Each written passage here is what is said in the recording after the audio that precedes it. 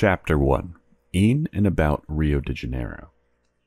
From Rio de Janeiro, October 30th, 1897. At last, I am on the way to the land which has been the dream of my life, the mysterious Antarctic. I have talked of this journey of exploration so long, have wished for it so persistently that now, when my one foremost ambition seems on the verge of realization, I can hardly assure myself that I am not on the road to another of many disappointments. In three weeks, one half of the distance in an airline from New York to the South Pole was traversed, and here on the lower edge of the tropics, I have waited for the arrival of the ship with the company of Belgian explorers with whom the journey to the Antarctic, now just begun, is to be made. On my arrival at Rio de Janeiro, the Belgian legation looked after my comforts, and the minister, Count van den Steen, offered me the hospitality of his home at Petropolis. After a fortnight of dreamy tropical life, a telegram announced the arrival of the expedition ship, the Belgica, in the Rio harbor. We took the early morning train and slowly descended the 2,000 feet along several valleys, winding around various hills down and down on the curious cogwheel railroad until we reached the head of the bay. Here, an old style sidewheel steamer carried us to Rio de Janeiro. On the pier, a delegation appointed by the Belgian colony of Rio met us with a tug in which we were carried to the Belgica. There was nothing about the Belgica to attract unusual attention from a distance. She was rather odd in shape and color, but Rio Harbor is full of weird looking crafts. We boarded the Belgica at about 11 o'clock. It was a scorching morning, and as we ascended the sea ladder, a cloud of hot vapor rose above us from the moistened decks. The captain, Lecointe, was at the gangway and greeted each visitor as the minister introduced us.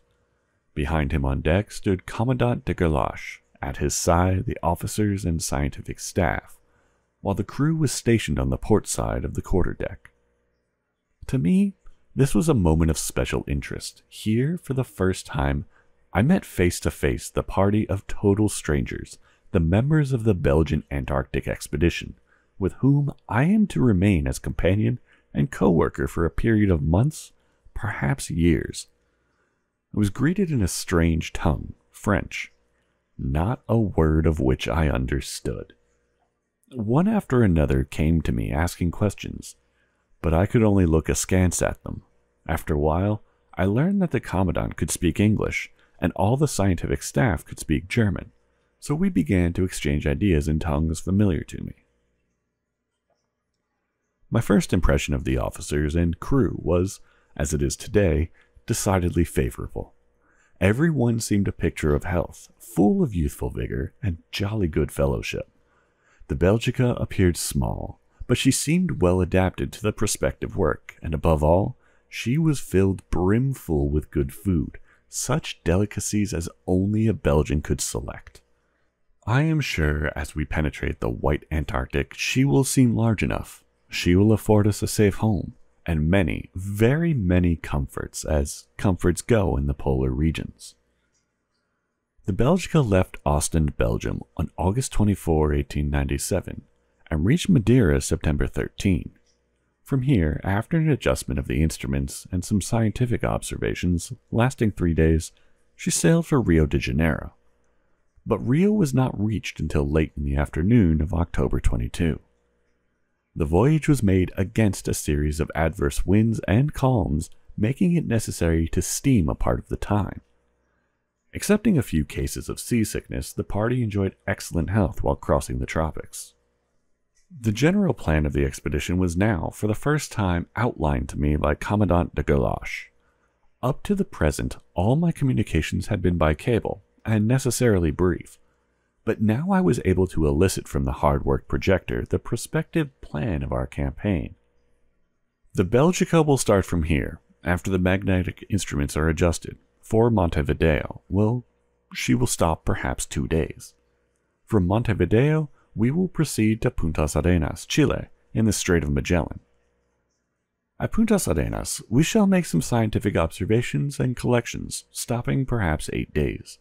and then, after coaling and restocking our provision supply, we shall sail for the South Shetland Islands, thence to Grahamland, and southwestward along its border to the limit of navigation. If time and ice conditions will permit, we shall first sail along the eastern shore of Grahamland and south into Weddell Sea. But this journey, tempting as it seems, is now rather doubtful owing to the short time at our command. From this western terminus of Grahamland, we shall try to map the coast to Alexanderland and beyond as far as possible. Then we are to press southward and westward to Victorialand. Deep sea soundings and dredgings will be taken whenever the opportunity presents. Systematic, magnetic, and meteorological observations are to be made, and large zoological collections are expected. In a general way, it is the aim of the expedition to make a thorough scientific survey of the regions traversed. The commander reserves the right to alter any or all plans to suit unexpected conditions as we meet them. In the afternoon, the minister, Count van den Steen, took Commandant de Gerlache and most of the scientific staff ashore to begin the first of a long series of presentations and introductions to the congenial Brazilian officials we were first presented to the Chief of Customs and Minister of Marine Affairs, from whom we derived the twofold pleasure of being warmly greeted and freed of harbor dues, customs annoyances, and other troublesome local regulations. It was to me a source of never ceasing interest to note the translations of the various questions asked. This portrayed clearly the Brazilian notion of a polar expedition. The ideas proved to be so tropical that I must risk a breach of etiquette and quote enough to show Brazilian versions of polar work. We were constantly asked, Have you a smoking room and much tobacco? Of course, you have lots of wine and other nice drinks, but have you plenty of good things to eat? You must take some Brazilian coffee. Others would put to us questions about our provision for pleasure, music, games, and pastimes in general, but I do not remember having been asked even once about the serious scientific work of the expedition. One broad minded and apparently intelligent fellow, well on in the winter of life, a member of the cabinet, asked the usual questions about wine, cigars, and personal comforts, and then, having heard of Mrs. Peary's experience in the North, he asked if we had any women among us.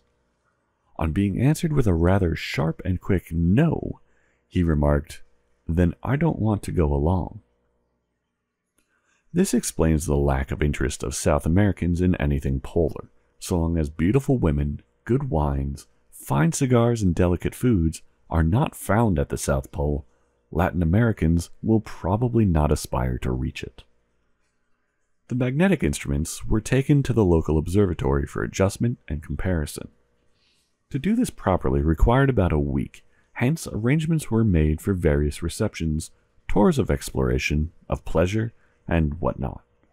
The zoologist, Mr. Racovitza, learning that he could take a fast steamer and reach Punta Arenas about a fortnight in advance of the expedition, at once made arrangements to leave us. This will afford him much additional and valuable time to make collections and observations in the immediate vicinity of the Strait of Magellan. We began the week on Monday by the presidential reception, the Belgian minister, Count van den Steen, had arranged the details, and according to his instructions, we assembled at the office of Consul Lauries shortly after noon. From here, we embarked in coaches drawn by small but handsome mules. We were hurried through narrow streets, along an endless number of low houses, plastered outside and in. The doors and windows were full of men, women, and children, scantily dressed but ill at ease, all doing nothing in various ways. In a half hour, we reached the White House, an imposing and substantial building constructed from the local schist which everywhere underlies the city. Led by Count van den Steen, we entered, ascended to the third floor, and were marshaled to the president's reception room with very little ceremony. The room was handsomely decorated by wall paintings and fresco decorations, probably of Italian design, while the floors were of beautiful inlaid wood, also of foreign manufacture. There were no carpets, but little furniture, and the mantels were covered by artificial flowers and plants. In a short time, the president, Senor Prudente de Moraes Barros, entered. We were presented separately, after which the minister made a short address in French, to which the president replied in a few words, and then, grasping our hands, he offered a cheerful greeting to each member of the expedition. The Belgian colony had long planned a feast for the expedition, and this was to be a grand event at Rio, to which we looked for real joy and lasting comfort. The time had been set for the evening of the 25th, at the restaurant Petropolis on Rue de Ouvidor. We assembled at 7 o'clock. There were about a hundred people present, representing the male members of the colony, the officers and scientific staff of the expedition, and a few newspaper editors. The room was large and airy. Electric fans were in position, but the air was cool enough without their use. The walls were decorated with flags, and the tables with flowers and fruits. The bill of fare was Belgian, a few local additions to the very best that could be imported from Belgium. This, I am sure, is sufficient said of a very delightful collection of rare foods and good drinks. There was much enthusiastic speech making and toasting in French, Portuguese, and Italian, presumably complimentary to Brazil, Belgium, and the expedition, but I did not understand it. The spirit of hilarity, however, was in the air, and although I was a foreigner among strangers whose language was unknown to me, I cannot remember having enjoyed a banquet at home better. We had all been wined and dined, separately and collectively, before and after.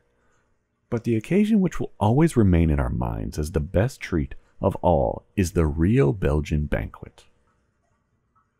The day following, and for the balance of the week, we visited local places of interest, explored the city in various ways, and were received at a special meeting of the local Geographical Society. Rio de Janeiro is a city of perhaps 600,000 inhabitants with about 100,000 foreigners. It is the metropolis of South America, but far, very far behind Montevideo and Buenos Aires in modern improvements and in all the present arts of civilization.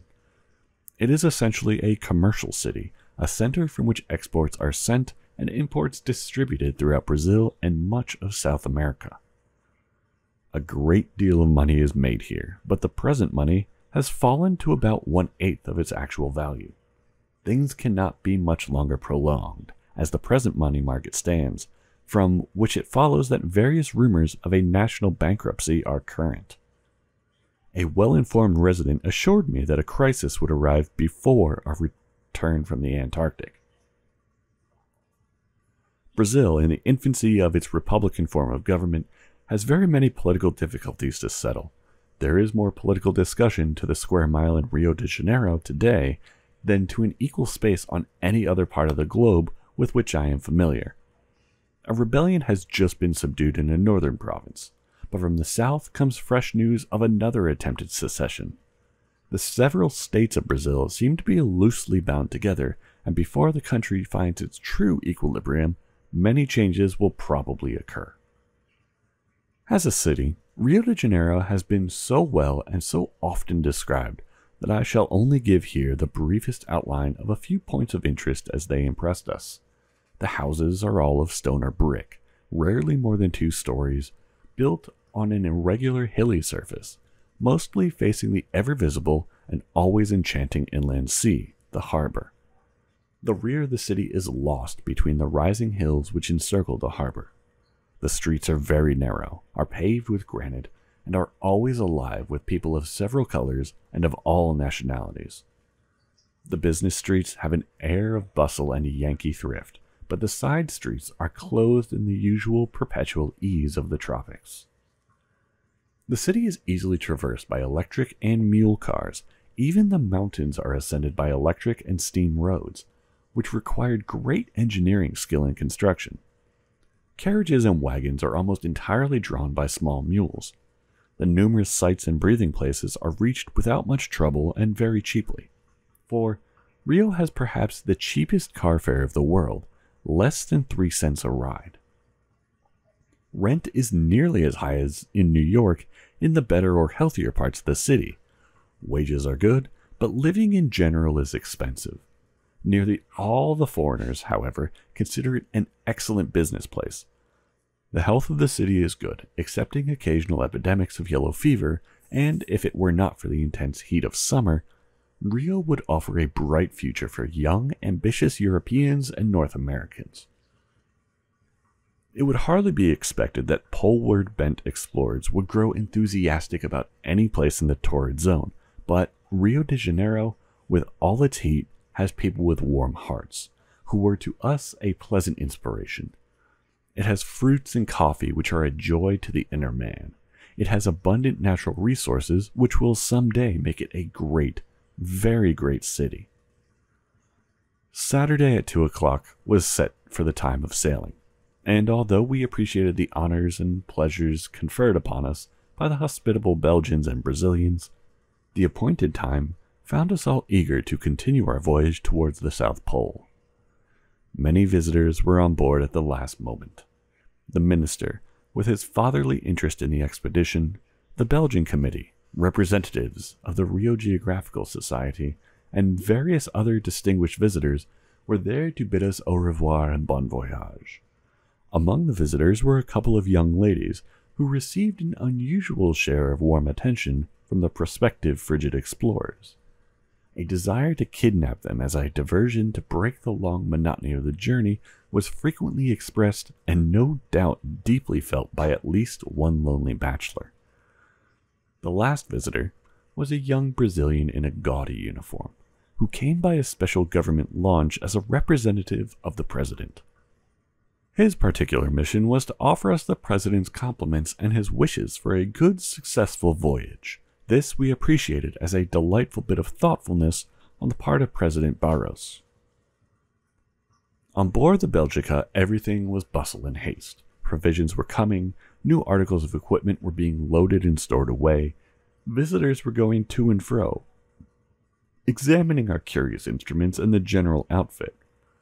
Tugs were all around the craft, and one, with several photographers, kept spinning around, snapping at the center of curiosity from every side. At three o'clock, the Commandant gave the order to start, and the entire mass moved with us. The visitors remained on deck, and the tugs followed. The commercial part of the harbor, with its steaming heat and teeming mass of conglomerate humanity, soon fell behind more interesting points. Several foreign cruisers were in the harbor, among them our Cincinnati, and these kept us busy replying to salutations and cheers. As we passed the old battered fort of San Sao, we rather expected a series of salutes, but instead a large band appeared on a low crown of torn cliffs, playing lively airs. Now and then the musicians would stop and fill the atmosphere with quaint cheers, all of which pleased us far better than a display of powder. As we advanced, a rather strong wind ruffled up an uncomfortable sea, and as we approached the Narrows, which are guarded by two ancient looking forts, it was deemed best to part with our visitors. The Brazilian men humored and kissed us, as is their custom, the men only, not the ladies. Our good friends of the Belgian colony offered many cordial greetings, and as the tugs withdrew from us, the oft repeated au revoir and bon voyage came with every leap of the sea. Our progress against the incoming wind and the sea was very slow, but this gave us an excellent opportunity to take a long parting view of the beautiful bay of Rio de Janeiro, with all its indescribable splendor. The sun was low, close to the crests of a ridge of mountain peaks. We were steaming out of the mouth of the bay, a harbor which is said to be large enough to afford room for all the naval fleets of the world.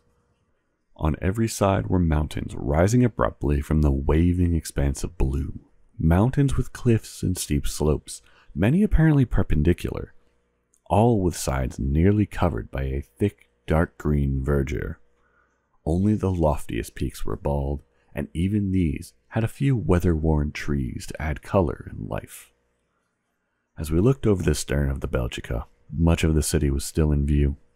The low, irregular houses with tiled roofs and sides, washed with lime and various bright shades of red, white, and blue, were unique and attractive.